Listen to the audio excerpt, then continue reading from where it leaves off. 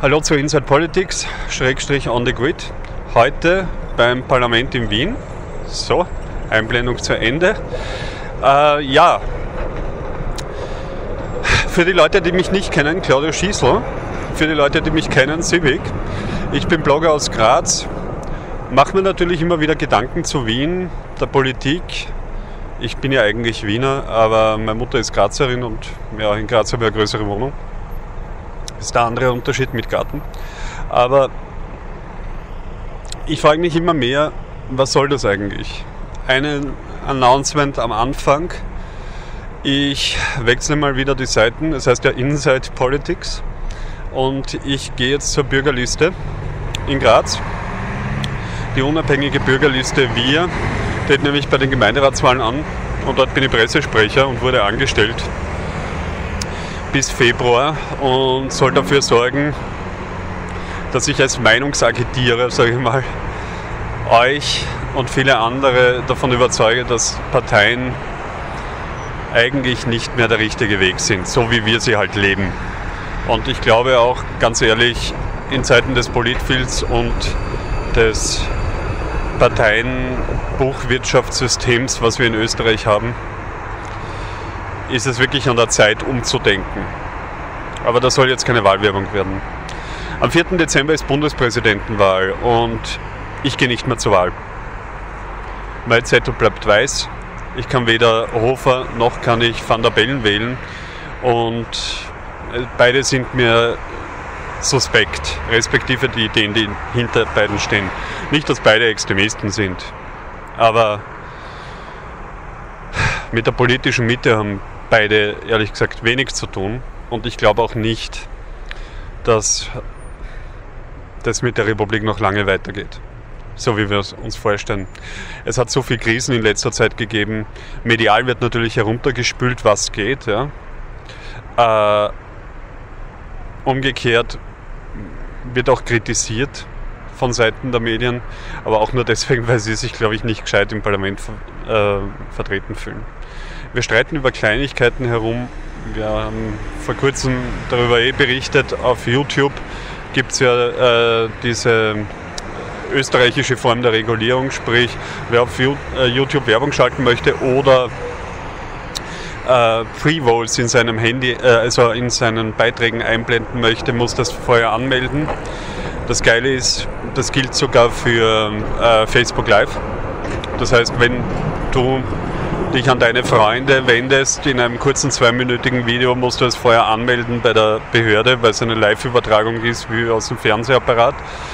Ähm, wenn du sagst zu deinen Freunden herzlichen Dank für die schöne Weihnachtsfeier oder Geburtstagsfeier letzte Woche, dann musst du sagen, Dienstag 18.30 Uhr möchte ich das auf Facebook übertragen. Solche Gesetze sind aus, äh, für eine Zeit geschaffen, die es nicht mehr gibt, nämlich als der ORF der Staatsfunk war. Nummer eins. Und Nummer zwei,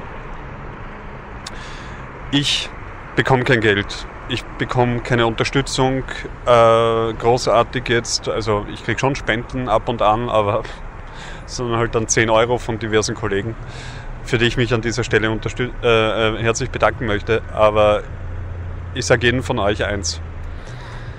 Es gibt Radio- und Fernsehsender, die bekommen zwischen 150 und einer Million Euro, dass sie Frühstücksfernsehen oder Nachrichten senden. Das sind private Sender.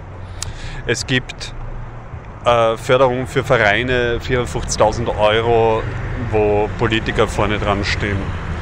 Es gibt eine unternehmerfeindliche Grundstimmung, wo kommunistische Organisationen wie die Wirtschaftskammer, anders kann man es gar nicht mehr formulieren, in Verbindung mit dem Sozialpartner Arbeiterkammer und äh, SPÖ und anderen Parteien wie der ÖVP Leuten etwas abzapfen wollen, weil sie sagen, wenn du auf YouTube 80 Euro einnimmst bei 40.000 Zugriffen, musst du 400 Euro Mindestgebühr zahlen oder 270, das muss man sich nochmal anschauen, aber 270 bis 400 Euro, um bei der Wirtschaftskammer Mitglied pflichtig zu sein. Also ganz ehrlich, auch das, huschi husch.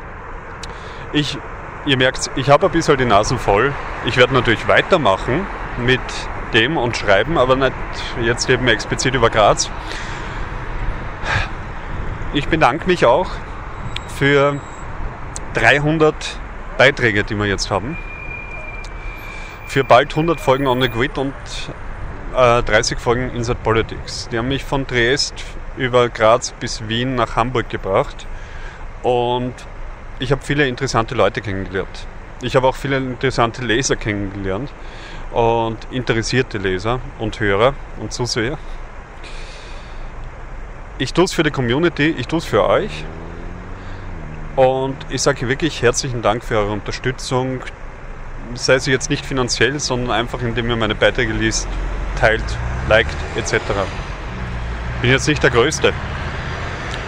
Aber ich sage, jeder von uns hat eine Selbstverantwortung und kann die unabhängig davon, wie das System in Österreich ist, noch leben.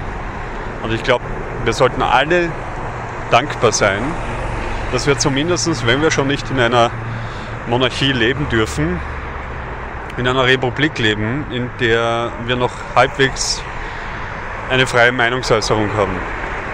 Auch wenn Milliarden investiert werden oder sonst irgendwie Geld oder Förderungen springen, dass diese Köpfe schön zugemüllt werden.